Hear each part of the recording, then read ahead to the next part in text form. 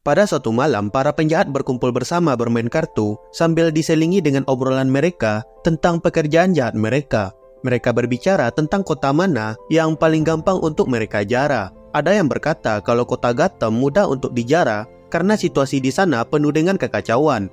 Dan dengan memanfaatkan situasi yang tidak stabil itu, membuat kota itu mudah untuk disusupi dan dijara. Atau jikapun mereka tertangkap oleh keamanan di sana, palingan mereka cuma akan masuk penjara selama enam bulan.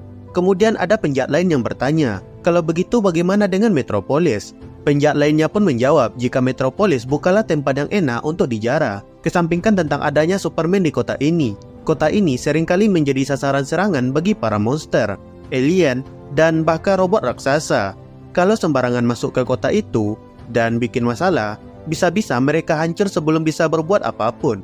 Penjahat lainnya pun lalu menanggapi dengan mengatakan jika kota Kotla adalah kota terbaik untuk dijara. Rekan-rekan penjahatnya pun setuju dengan perkataannya. Hal itu dikarenakan kota Kots ini dijaga oleh Green Lantern. Nah, si Green Lantern ini sering berada di luar angkasa untuk tugasnya melindungi galaksi. Jadi kota Kots ini pun menjadi mini penjagaan jika para penjahat super datang menyerangnya. Kemudian tidak lama setelah obrolan tadi, tiba-tiba penjahat baru yang ada di sana dengan santuinya berkata, sebenarnya Central City lah yang paling mudah untuk dirampok. Mendengar hal itu, para penjahat di sana pun terdiam sambil memandanginya. Dan setelah itu, mereka pun mulai ribut seolah tidak percaya dengan apa yang pria ini katakan. Salah satu dari mereka pun menjelaskan kalau kota Central City adalah pilihan terburuk bagi para penjahat untuk mereka datangi. Misalnya saja Joker, pada suatu ketika dia mendatangi Central City karena dia mengira kota itu akan menjadi target yang mudah bagi dirinya. Joker pun menyiapkan gas beracun miliknya dan melepaskannya dari atas gedung langsung menuju ke kota Central City. Namun baru saja si Joker ini mengaktifkan gas beracunnya itu, The Flash langsung datang dan menerbangkan semua gas beracun milik Joker beserta si Joker ini sekalian keluar dari Central City. Setelah kejadian tersebut, Joker pun tidak pernah datang lagi ke Central City. Manusia semacam Joker yang membuat Batman hampir stres saja memutuskan untuk tidak lagi mendekati kota yang dijaga oleh The Flash ini. Belum cukup sampai di situ, ketika seorang penjahat yang bernama Condiment King mencoba untuk merampok sebuah bank di Central City, dia yang saat itu sedang berada di lobi bank dan menyuruh semua orang di sana untuk mematuhinya, tiba-tiba dalam sekejap mata berpindah ke gurun pasir di tengah benua Afrika. Dan dia pun butuh waktu satu tahun untuk kembali ke rumahnya dari padang pasir tersebut. Para penjahat yang menceritakan tentang kota Central City tadi juga membahas mengenai anak-anak The Flash yang membuat kota tersebut semakin tidak mungkin untuk mereka jara.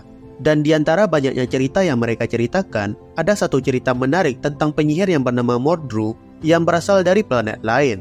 Si Mordru ini memiliki kekuatan untuk melompati dimensi dan membuat dirinya bisa pergi ke mana pun yang dia inginkan. Ketika Mordru ini sampai ke Central City, dia pun berkeliling melihat tempat tersebut. Nah, saat berkeliling, dia berpapasan dengan bocil yang mencibir ke arah dirinya. Si Mordru ini langsung emosi dan mengambil permen milik si bocil ini. Namun aksi Mordru yang mengambil permen bocil ini ternyata dilihat oleh The Flash yang ada di sana. The Flash langsung menggoyang-goyangkan jarinya sebagai isyarat kepada Mordru untuk menghentikan aksinya.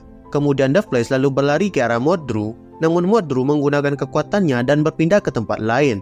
Dia berpindah ke sebuah tempat yang tampak seperti sebuah bar di planet lain yang dipenuhi dengan alien.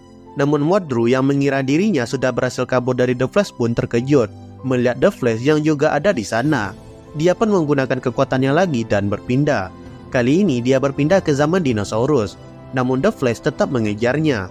Dia melompati dimensi lagi, dan kali ini dia ke masa depan. Namun tetap saja The Flash terus mengejarnya. Dia terus berpindah melompati ruang dan waktu, namun The Flash tetap selalu ada di belakangnya. Hingga Modru ini melompati dimensi, hingga sekarang dia ada di ujung usia alam semesta, tempat di mana waktu berakhir dan di mana realita baru diciptakan. Nah, walau sudah di ujung dunia pun, The Flash tetap ada di sana mengejar dirinya. Lalu dengan senyum lebar di wajahnya, The Flash meminta permen bocil tadi dan kembali mengembalikan permen tersebut. Inilah yang membuat para penjahat tidak mau berurusan dengan The Flash. Dia bisa ada tepat di belakang para penjahat, tidak peduli si penjahat ini mau kabur ke mana pun. Dan jika dibandingkan dengan Batman yang akan mematahkan tulang para penjahat, serta Superman yang akan melemparkan para penjahat, maka The Flash akan memilih untuk berbicara dengan para penjahat ini. Dia membuat para penjahat berpikir jika apa yang mereka lakukan itu adalah hal yang salah. dan membuat mereka bisa menjadi pribadi yang lebih baik. The Flash memberikan para penjahat kesempatan untuk berubah. Dan tentu bagi para penjahat, hal itu tidak terdengar baik bagi mereka. Nah, setelah penjelasan panjang lebar tadi, si penjahat yang bilang tentang Central City itu adalah target yang mudah, malah dengan bangganya menunjukkan sebuah tas yang penuh dengan uang yang dia curi dari bank di samping Flash Museum. Mendengar hal itu, para penjahat lainnya pun langsung kaget dan berniat untuk segera pergi dari sana secepat mungkin. Namun semuanya terlambat ketika suara ketukan pintu berbunyi dan The Flash sudah ada di depan mereka semua. Dan ya, kira-kira begitulah cerita tentang para villain yang saling curhat dari hati ke hati tentang ketidakmauan mereka jika disuruh berurusan dengan kota Central City. Like video ini jika kalian suka dan subscribe channel ini biar admin Bujang semakin semangat untuk bikin konten lainnya. Dan sampai bertemu lagi di video selanjutnya.